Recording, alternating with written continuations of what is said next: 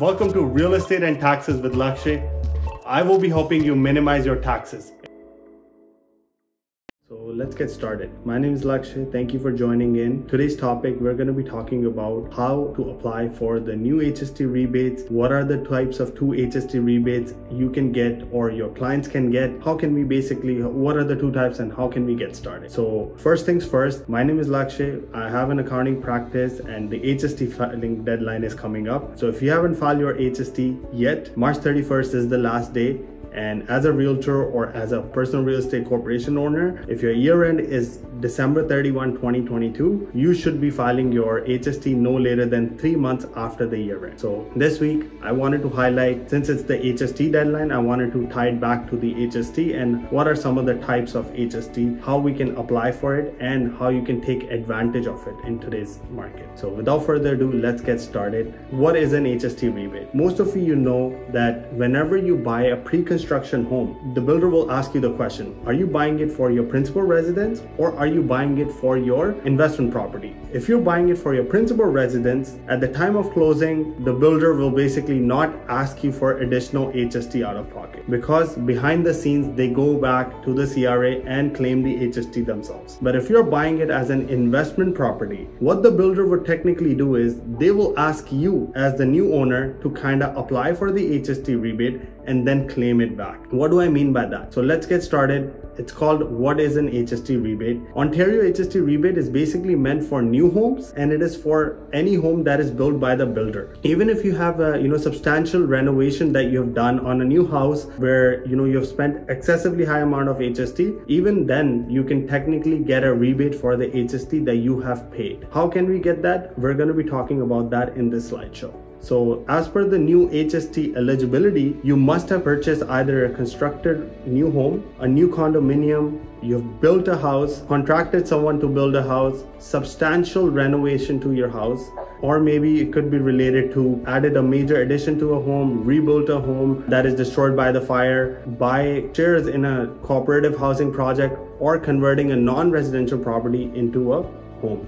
Under all of these criteria, you can technically apply for an HST rebate and get the money back. So without confusing you, we're going to be talking about two HST rebates today. Number one would be the new housing rebate for homeowners, and the second one would be the new residential rental property rebate. So what is the new rental property rebate? This is technically for your investor client. So let's assume you had a client who recently invested in a project where it's a pre-construction project, it's new build. That is the HST rebate you'll be looking at. So the new residential rental property rebate. If you are, let's assume um, in a situation where you've bought it as a principal residence, then you can look at the new housing rebate, which is for the homeowners. So any landlord that buys a new condo or home for which the first occupant is tenant is eligible for the new residential rental rebate. Just like the name suggests, one is for the homeowners where you are buying it for yourself and the second one is actually for the rental property rebate which is for an investor who has technically rented their home. In the new housing rebate, the applicant must intend to acquire the house as a principal residence. So this is not the house where you're gonna be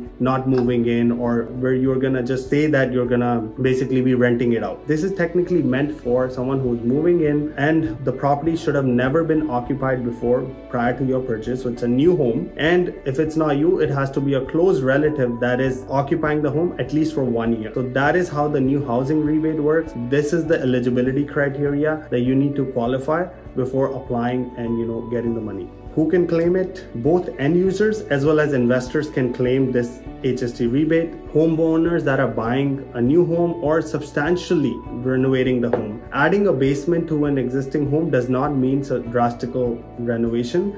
You would technically be adding more washrooms upstairs and you know basically changing the structure of the house in order for to you to qualify for the rebate. Even the individuals who have built a new home for themselves can also, like the custom housing projects that we see a lot of the time, even those guys qualify for the HST that, you know, from the government. They pay the HST when they're constructing it, but they can claim it back at the time as part of the HST rebate programs. So how does the HST rebate process work? So if you are, let's assume buying a new home where you have told that this is going to be an investment property, here's how the breakdown would work. Technically, let's assume the pre-HST house price was 300,000. The federal portion of the HST is 5%. So 5% of it total is 13%. 5% is related to federal and the remainder is actually related to the Ontario portion. So under 5% of 300,000 works out to 15,000 and on that 15,000 you can claim up until a maximum of 36% which is 5400 back. If you're looking at the provincial portion, you have 8% of the same house price, which is $300,000. So 300,000 times 8% works out to 24,000. Can you get back all of the 24,000? The answer is no. They have an upper limit. The upper limit is 75% of the Ontario portion that you have paid, which works out to 18,000.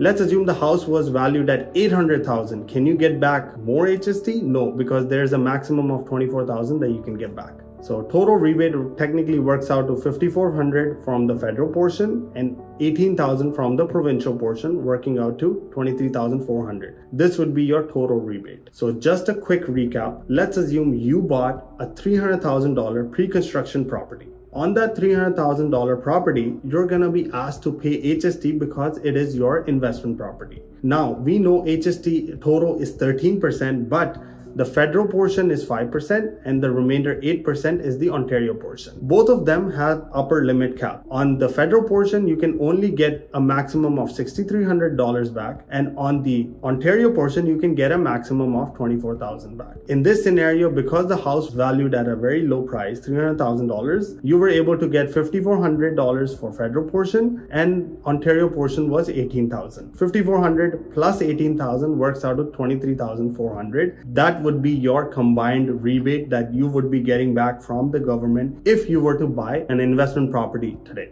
So once again, we are talking about HST that we basically get back from the government on investment property and how the breakdown works. If the house was valued at 800 900 or a million dollars your maximum would still stay at 6300 plus 24000 because on an $800000 property this would technically crossing the threshold so you cannot claim more than this amount now looking at the statement of adjustments. A lot of the people are wondering that uh, how would a statement of adjustment look for an investment property that is technically purchased and how, how would the numbers work? So here's an example of an investment property statement of adjustment. In this scenario, what the builder has done is they've basically asked for additional money by the purchaser. They're basically at the time of the closing, they're asking additional $27,150 from the buyer in order to compensate themselves for the HST that they weren't able to get back from the CRA. Remember, this only happens when you're buying an investment property. If you were to buy principal residence, how would the statement of adjustment look? Here's a second example of statement of adjustment where in this scenario, the house price was approximately 823,000 and in this scenario, the builder themselves applied for the rebate and credited the purchaser. The purchaser did not have to pay this at time of closing. In the previous example, you can notice that basically the purchaser had to foot the bill at the time of closing of 27,000 which they can technically claim back from the government later on. Don't think in the sense that oh just because I'm buying an investment property property, the cost went up. Because you pay and then you get it back, the net impact is technically the same. You can apply for the rebate for HST and get money back within two months. In this scenario where it was principal residence, you technically do not have to even do any work because the builder behind the scenes goes back to the government, tells them that this purchaser is going to be occupying the house themselves. So do not charge them HST. We will be basically doing the administrative work and the builder will technically be taking care of applying and getting the rebate. You don't have to foot the bill at the time of closing of the additional HST. So now you must be wondering, when I apply for the HST, who does it go to? It technically goes to the person who paid the HST. It goes to the either the landlord or the person who have leased the property. It usually takes two months to get to basically file this rebate and then get the money back. And if let's assume you bought the property in 2020 and today is 2023 and you forgot to apply for this rebate, you won't be able to apply for it because the maximum timeline that you can apply for this rebate after closing is approximately two years. So you only have two years in order to apply for this rebate application for HST and you cannot do it after. I've had cases where, you know, someone might have forgotten or, you know, they weren't able to apply for the rebate within the two year timeline and the CRA upfront rejected their claim. So they were out of pocket for this big amount of HST. Now, a lot of you guys have, you know, also asked me that um, what happens if we don't tell CRA that this is going to be our uh, principal residence or we don't tell CRA that this is going to be an investment property. What if we just tell them that this is basically our principal residence? So we don't want to be paying HST at the time of closing let the builder do his job and eventually we're we were never going to occupy it and we end up renting it. I have seen in cases like this where cra will wait two years and not send any letters and later on after the two year time of claiming this rebate has been closed this window is closed then they send the letter and ask them that when you bought the house you told us that you were going to occupy it. Now eventually you didn't occupy it. So technically you need to pay us the hst rebate that you falsified or claimed when you were buying the house. Now they had to pay the additional hst out of pocket and with the interest and penalties of course and they weren't even able to claim it back. All cra is technically trying to tell you is whenever you're buying a new house, tell us are you buying it for principal use or are you buying for investment? In both the cases, your net impact for HST is exact same. Then why not tell the truth and the truth is, if you're buying it for your personal self, there's no HST impact at the time of closing. But if you're buying for investment, we're gonna charge you HST, but claim the entire amount back within two months after you have tenanted the property. So be truthful because I've seen this happen. People lie and then, you know, CRA, you know, comes back to you with interest and penalties what records do you need to keep? You need to keep one year lease agreement when you're applying for this HST rebate, the agreement of purchase and sale, the final statement of adjustments, and there's two application forms to apply for this rebate, which your accountant or me myself can actually help you to do. All claims are subject to CRA audit, so still keep all of these paperwork handy for seven years because they can come back to you. And that kind of wraps up today's presentation. Thank you once again for joining in. We're gonna be seeing each other every Tuesday Tuesday at 2 p.m. So don't forget to, you know, add it this meeting to your calendar and we're going to present you with a new topic.